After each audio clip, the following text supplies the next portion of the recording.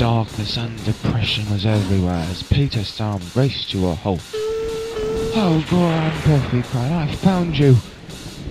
Stuart, cried Duke, despairing. Stuart, you must leave, now, before he comes and takes you too! Grandpa, who? Ha ha ha! I found you, Duke! Grandpa!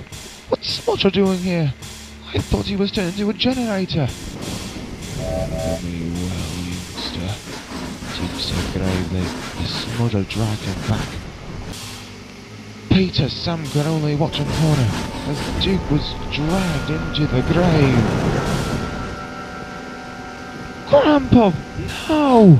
screamed Peter Sam. No! Grandpa! screamed Peter Sam in his sleep. Ugh, grunted Sir Handel.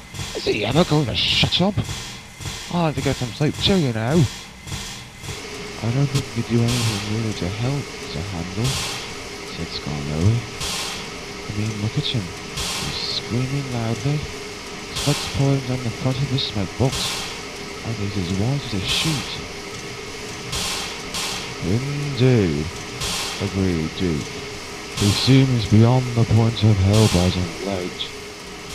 But still, one can only wonder what's going through that poor lad's smokebox right now.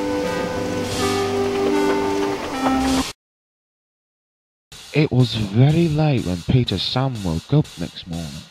He felt very tired and very st- Oh dear, he groaned. I'm late. The Fat Controller will be annoyed if he finds out about this. With that, he hurried away to collect his train. First, he collected his coaches. And then, he backed onto his trucks. And then, Peter Sam set out for the rest of the day's work. After that, he dropped off his train at the top station and collected another row of trucks and went off with them. All was going well until the trucks decided to play their tricks. They giggled and chattered to each other, Hold back, hold back! And they did. Peter Sam grew very cross. He bumped them and bit them, which was no good. Until if you don't behave, I'm going to send you all to the scrap yards, Peter Sam warned. That trucks sobered up once. But even still, a while later, they began their tricks once again. But Peter Sam, ready for it, put up all his strength and forged ahead. Unfortunately, he put forth so much strength that she broke down at a junction. His driver brought the train to a stop. It took a long time for Peter Sam's driver and fireman to make the diagnostic, and when they finally found what the problem was, the repairs took a long time.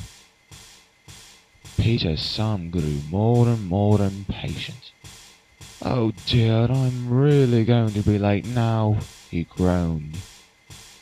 What will the Fat Controller think? Suddenly, it was Duncan's whistle. He was coming along down the line, straight for Peter Sam's train. Beep, beep, beep, beep. Duncan, stop! Peter Sam cried, horrified. But Duncan, with plenty of steam, kept right on going. His pistons pumped, his wheels clattered along the tracks, and smoke billowed out from his funnel.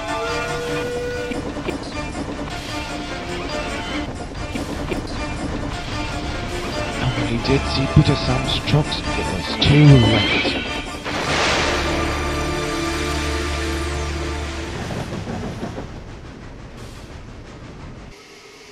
Beep, beep! Oh no! Peter Sam cried again. He was most aghast. Lucky for him that Duncan's coaches had been empty. It was late when Peter Sam crawled home to the sheds, where he found the Fat Controller waiting for him. He did not look happy at all. I hear you've caused a big accident, he said grimly. Is this true? Yes, sir, Peter Sam admitted sheepishly. The Fat Controller shook his head.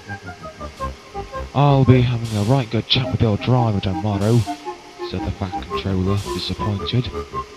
Yes, sir, Peter Sam quavered as he backed into the shed and watched the Fat Controller walk sternly away. But not even the Fat Controller's harsh words or the day's events could hold off Peter Sam's dreams for very long.